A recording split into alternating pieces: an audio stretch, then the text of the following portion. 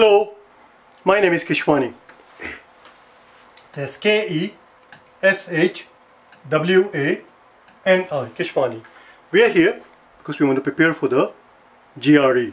We have been solving math problems out of this book here, the official guide to the GRE, the third edition. If you do not own this book already, purchase one immediately. You're going to need it. Today is our lesson number 114 day 3114 3 is to signify the fact that we are in the third edition. Third edition day 114 we are covering the topic of probability and today is our 14th lesson in a series of 15 the penultimate lesson the penultimate video on the topic of probability. A word that we used yesterday penultimate which simply means second to the last. It's just a very fancy way of saying second to the last. It's the word that we learned that uh, it's a word that we already learned in our vocabulary lessons just type in GRE vocabulary words, GRE vocabulary words, day 11, the search for it. Just type in in the search box GRE vocabulary words day 11 or day 1 and you will find the vocabulary words that you need for the to do well on the GRE verbal portion of the exam. Do you understand? The videos are on my channel and do what you can. Whatever you do, my, my philosophy is that whatever you do is better than not doing anything at all, not having done anything at all. You must work on the vocabulary. It is a very important, very large part of the verbal exam. Many people get poor score on the verbal portion of the exam because of the poor vocabulary. I know that you're working on the math portion, obviously, because you're watching this video, but you mustn't forget the other half of the exam. Do you understand? Anyway, here's the problem. Problem number 14 is what we are about to do. It is on page number 321. I hope that the book is in front of you. Turn to the turn to page 321 and read the problem with me. Here's what it says. It says that we have four events four events A, B, C and D such that A, event A and B we are told are mutually exclusive. Event A and B are mutually exclusive. What does it mean to be mutually exclusive? We have talked about it many many times before. It simply means that if A happens, if A happens, B cannot happen. They cannot both happen at the same time. They cannot both happen at the same time. For example, let's go, I know we have talked about it many times, but one more, one more time a quick review.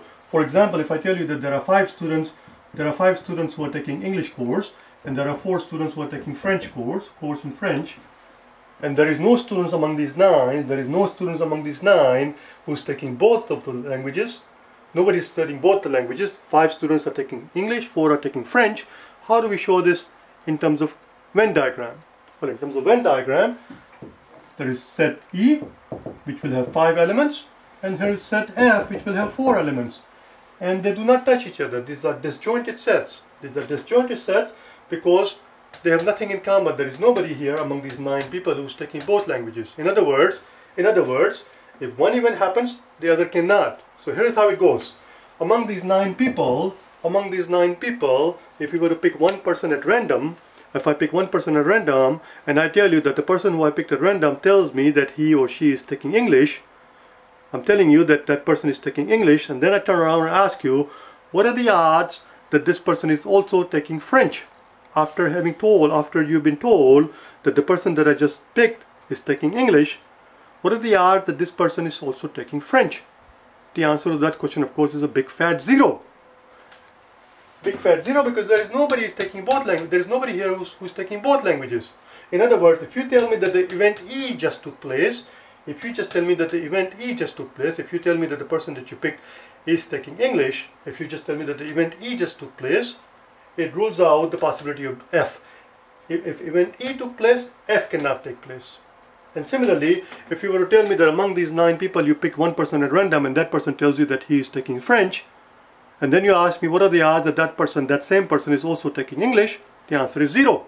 They cannot both happen at the same time. These two events are mutually exclusive. Mutual exclusivity, exclusivity means that if one happens, other cannot. That's the very basic fundamental concept of probability. Mutual exclusive, exclusive, exclusivity and independence. Those are the two fundamental, most fundamental concepts of probability. We just discussed mutual exclusivity. I'm not going to repeat everything. Independence. What does it mean? What does it mean for two events to be independent? That's very. That's that's the concept is actually very simple. A simpler concept than the mutual exclusivity two events are independent if the odds of one event happening or not happening has absolutely nothing to do with the other event. The odds of second events does not influence the odds of the first event and vice versa. It doesn't matter if there is a 70% chance that event A will take place and 37% chance that event B will take place, then the odds of event B and event A have absolutely, they do not influence each other. The classic example that is given in the textbook is tossing a coin. If I toss a coin, what are the odds that I'm going to get ahead? 50%. What are the odds that I'm going to get ahead again in a second try? 50%. What are the odds that I'm going to get ahead on the on the 3000th try? Again 50%. Because the coin has no memory. So the odds of each event is 50%. It's not influenced by what happened before. It doesn't the other the probability of other events does not influence the odds of this event. All of these events are mutually exclu um, are, are independent. Tossing a coin, no matter how many times you toss a coin, all of those events are independent of each other. Their probability is fixed. It's 50%. It doesn't matter what you got in the what you got in the previous toss. It has no impact. It's not influenced by what you're going to get in the future tosses. It's fixed. Do you understand? Anyway, enough of the talk. Let's do the problem. The first question that they ask us is, what's the probability of event B? What is the probability of event B? To answer this question, we need the room, so I'm going to raise all of this thing. To answer this question and the next question, both of these questions deal with what we learned on day number what we learned on day number 3091 on day 91 today is our day 114 on day 91 on page 300 we learned something called inclusive exclusive principle. It's not hyphenated. Inclusive exclusive principle which goes something like this it says the odds of event A or B happening odds of event either A or B happening is equal to the odds of A happening plus the odds of B happening minus the odds of A and B happening. And this is simply this is simply the depiction of depiction of Venn diagram. This is simply the depiction of Venn diagram because this this thing reminds us to avoid to undo to undo or to avoid double counting.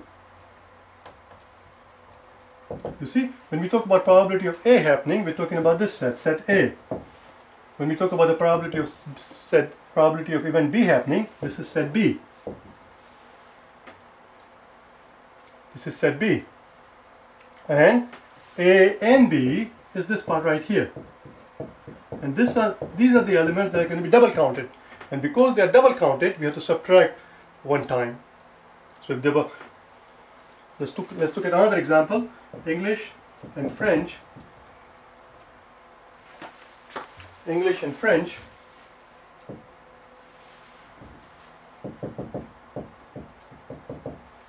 Let's say 10 people are taking English, uh, 8 people are taking French, and let's say 3 people are taking both. Watch what happens. Watch what happens. So 10 people are taking English, right here. 8 people are taking French, and then they go on to tell us the three are taking both. So three are taking both. They possess quality, both of the quality. They are speaking. They're, they're taking English and French. They, it goes here three. But those three people are already counted in the ten. So we have to take away three from here becomes a seven, and three from here becomes a five. But in terms of what this says here, what this says here is this. So, what are the odds? What are the odds that somebody who's taking, if I were to pick if I were to pick one person at random, what are the odds that the person is taking either English or French? Okay, I need the room, so we need to raise it. Watch, watch, listen to what happens. What are the odds that if you were to pick one person who is taking either English or French, event A is taking English, event B is taking French. Well, odds of somebody who's taking English, we were told is there are 10 people. Odds of somebody who's taking French, there are 8 such people. But we do not have 18 people, as you can see clearly, we do not have total of 18 people. Because three of them are taking both. Three of them are taking both, which means this is only seven people who are taking only English. There are only five people who are taking only French.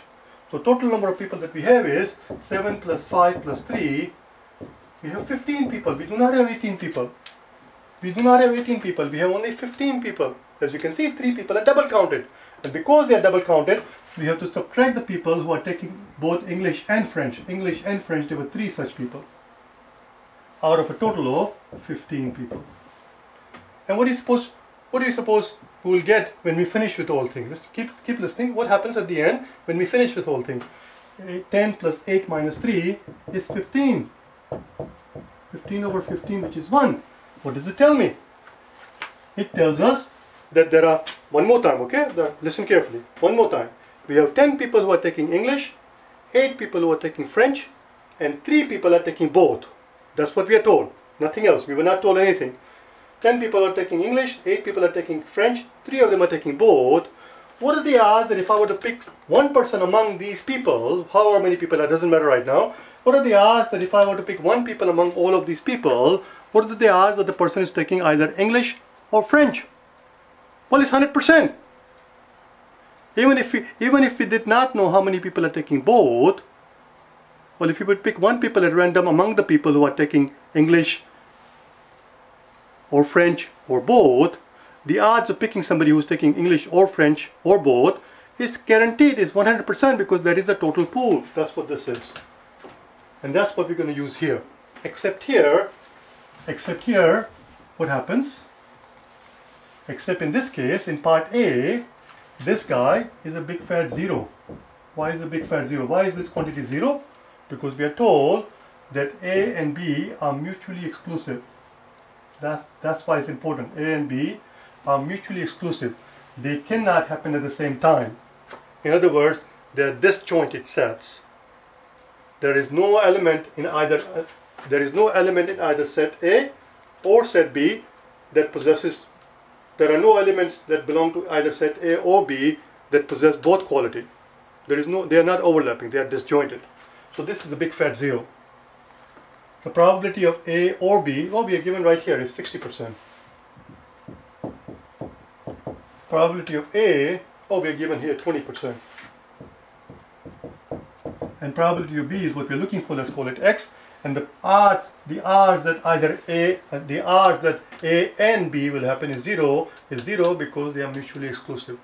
It is impossible for both A and B to happen at the same time because if A happens, B cannot happen and if B happens, A cannot happen. They cannot both happen at the same time. That's what this means.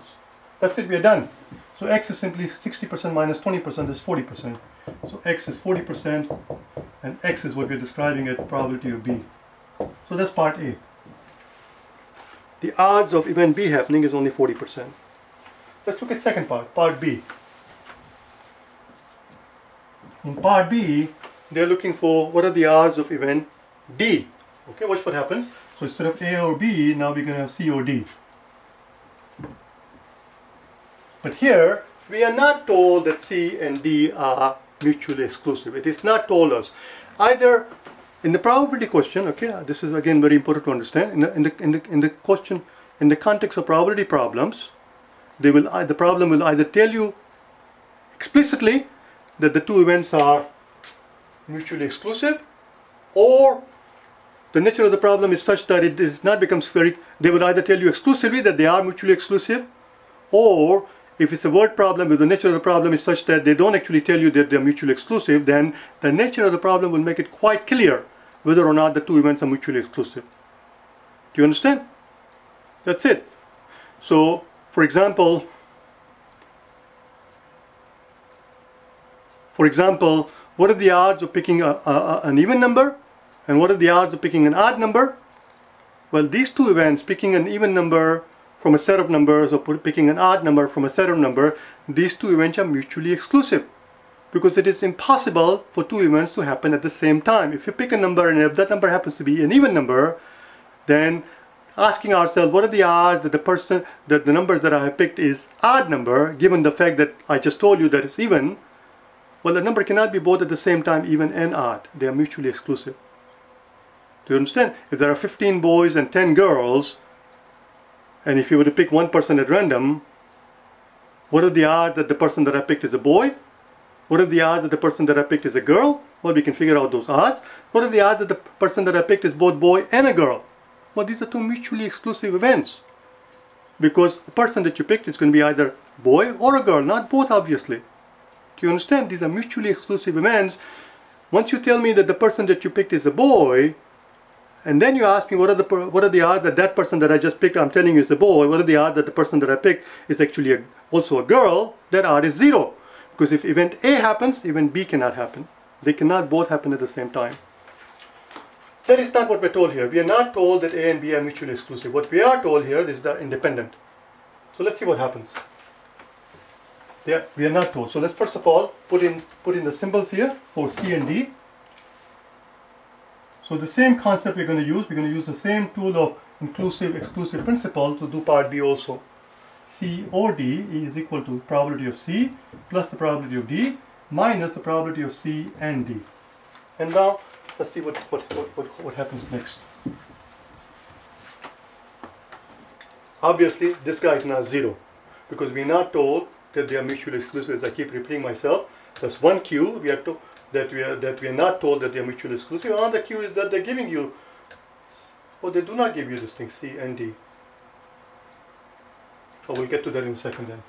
Probability of C or D is 60%. Probability of C is 50%. Let's do it. Let's do it in terms of.